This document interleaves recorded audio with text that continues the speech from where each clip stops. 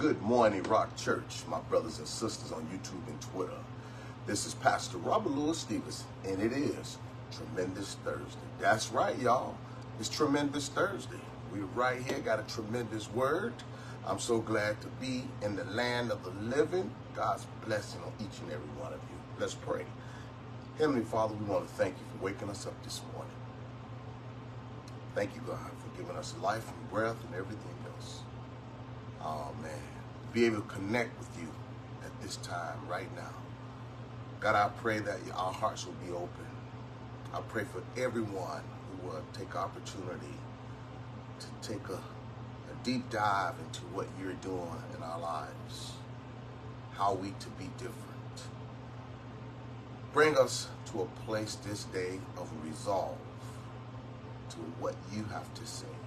May we respond in a way that will be pleasing to you. Come on in, Holy Spirit. Have your way in this place. Hallelujah. Yeah, our hearts are ready to be receptive. We pray this in Jesus' name. Let God's people say amen. Amen. Brothers and sisters, it's good. It's good to be with you all this morning. Um, as we continue our devotion, I just want to lift you all up and congratulate each and every one of you all who have been listening been following these devotions throughout the year. You don't have to been doing you don't have to do it every day, but for those of you all who've been listening and and making some changes and deep uh, taking deep dives into uh, your personal walk with Christ, uh, you to be commended. Come on, let's give all let's let's, let's give everybody a big hand because you need to be commended. If this is your first day it's a, it's a new day.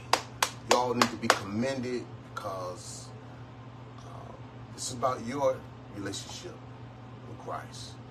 And then we know that it translates, you know, in areas of our lives that are becoming, and then it impacts others. So what you're doing, the having this devotion, you know, it's it's uh, you're not it's not in vain. It's not in vain. So just just uh, be encouraged. So today's devotion, I, I, I titled this devotion, Stop Making Excuses. Stop making excuses. And I don't know who's this for, but I, I know that it's easy to to make excuses. You know, it's easy to say, hey man, the reason why, you know, I I didn't do this because this happened.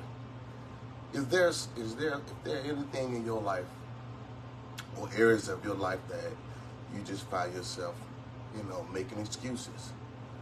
See, what I found out that we can actually do what we really want to get done. Things that we want to see done, we can get them done. We got to figure out what can I do different in whatever area of my life that I may not make excuses. And it's it's important and brothers and sisters, I'm telling you, man, we've been doing this 349 days. And there has been more than a hundred times in my head when I thought, man, maybe I'll do this another day. I couldn't make an excuse. God put it on my heart to do it. There can be no excuses why I didn't do it. I, yes, I do get tired and studying, and my brain be gracious. There's a lot of preparation.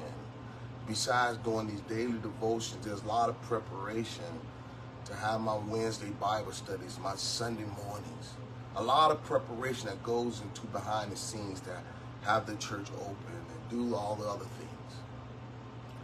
I, I have a lot of stuff that's really going on in my life to say, you know what, I'm gonna put this on the back burner.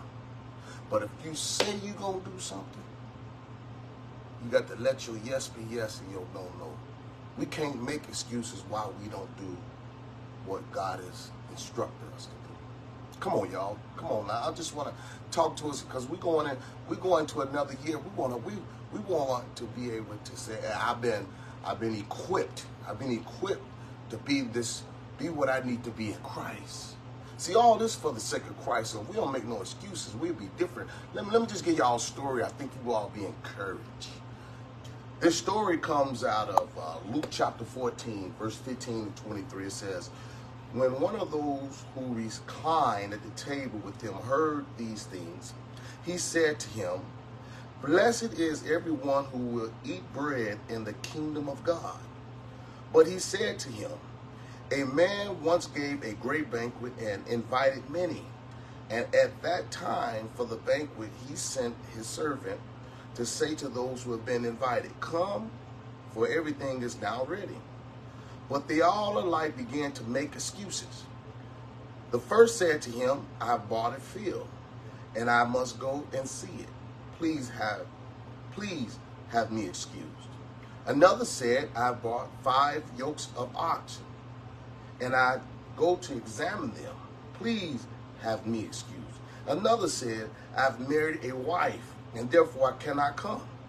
So the servant came and reported these things to his master. Then the master of the house became angry and said to his servant, Go out quickly to the streets and lanes of the city, and bring in to the bring in and the poor, the crippled, and the blind and lame. And the servant said, Sir, what you command us has been done. There's still room. And the master said to his servant, Go out to the highways and edges and compel people to come in that my house may be filled. Now, here we're sitting up here, this man sitting at the table with Jesus. And Jesus was helping him to understand some things about the glory of God in the kingdom of God. But many people turned down the invitation to the banquet because the time was inconvenient. And so here it is.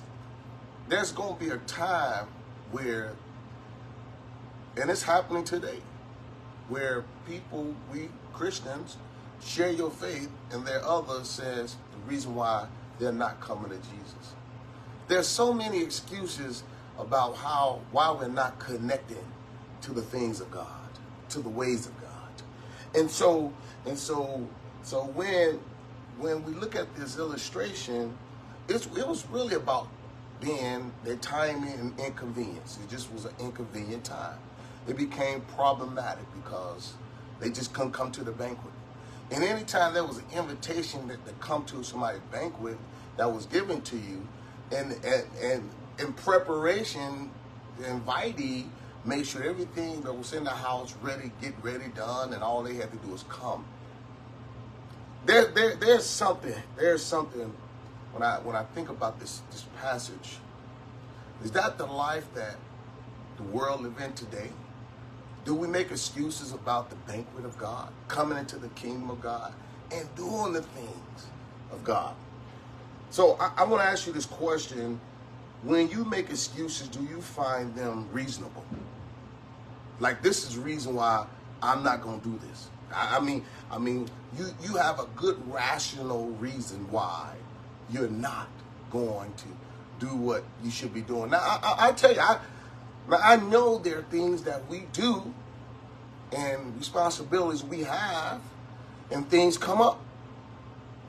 But are there just decisions we make once we, you know, I just can't do it because I don't want to do it?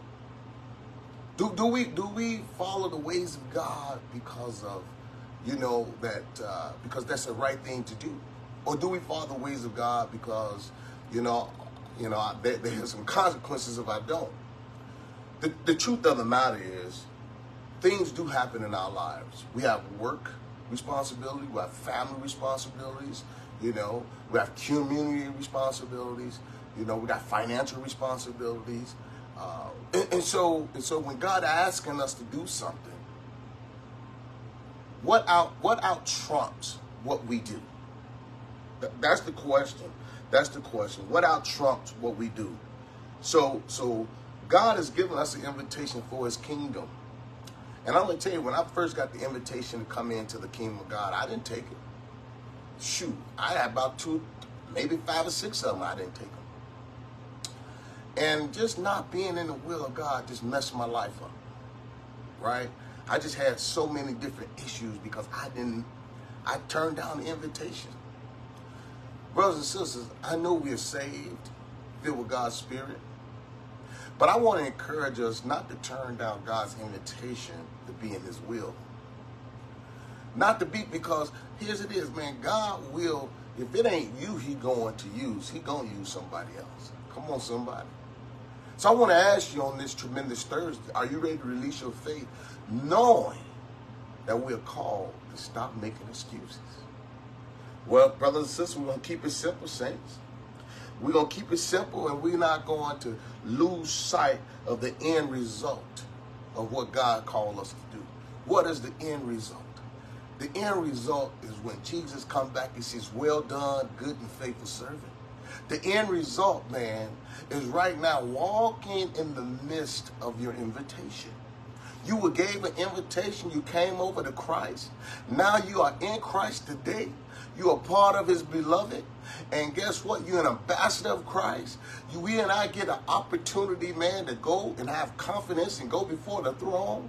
We understand what it is to have, have lift him up. Man, he highly lifted up to give him praise. And therefore, you have already said yes to the invitation of salvation. And he just wants us to continue to understand you are you crossed over by your declaration, by your confession. Now, you know well as I know, when you invite people over to a party, you invite people to come to your house. Hey, man, you got everything fixed up, ready to go. When they come in, they just, they walk into the door, the ambiance that you have set up for your children or for, or for your, your guests to come in. They don't just stand at the door. You take their coat, you hang it up, you offer them something. You begin to let hospi- your hospitality gift go to work for you. And before you know it, y'all come all to the table. People don't go sit at the table. They wait for direction. They get the direction. And as you know, man, you, you tell them what's on the menu and you serve your guests. See, that's the thing about, man, being in Christ. We just didn't come over to Christ and all of a sudden that stopped. Man, we become, we, be, we, we become the guests, man, in the kingdom of God. And therefore, he's looking forward for us to do our part and for. And therefore, let us stop making excuses. If God said come into his home, man, come on, go to church, stop making excuses. God says give your time, stop making excuses. God said give your talent, stop making excuses. God said give your treasure. May we stop making excuses. Hey, y'all, this is what God has called us to do. May we dig with deeper dive. Go back and read this story. Man, the kingdom of God is before us. What a tremendous opportunity that we all have received because the invitation of salvation brought us to the kingdom. Therefore, stop making excuses. Heavenly Father, we honor you, we love you, we bless you. We thank you, God, for giving us an opportunity to look through the lenses of your invitation. God, as we looked at the example of a, of, of a, a man who gave a great banquet, and people made excuses why they didn't come. God, I pray that we won't make excuses to what your word telling us to do. God, we thank you that you've given us the invitation of salvation. And God, I pray that we just don't leave salvation there, but we work it through as a lifestyle. What is it that we should do once we come into the house of the kingdom? And God, I believe the things that we to do is to give of our time, to give of our talent, to give of our treasure. God, help us to stop making excuses why we're not adequately giving the way that you have told us to. God, I know that we are a guest in the kingdom. May we never forget that we are a guest. God, in the bridegroom has done the work on the cross for us. God, may we always take heed to your instructions. And so, whatever areas of our lives that we are making excuses, this day and this day today, we will stop making excuses and we'll be the son and daughter that you have called us to be. May you be glorified on this tremendous Thursday. Let God's people say amen. Mwah!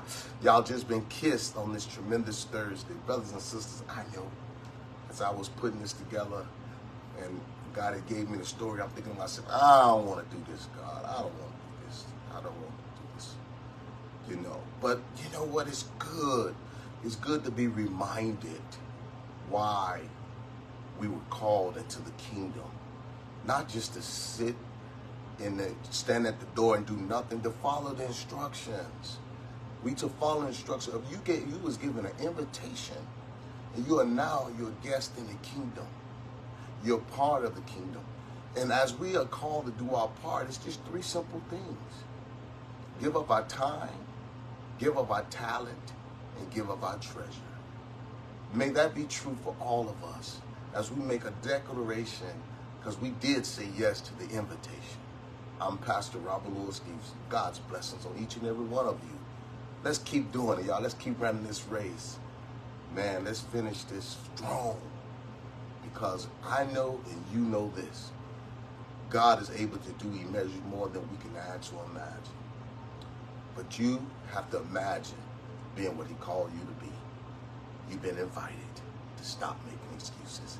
Have a tremendous Thursday. Take care of yourselves.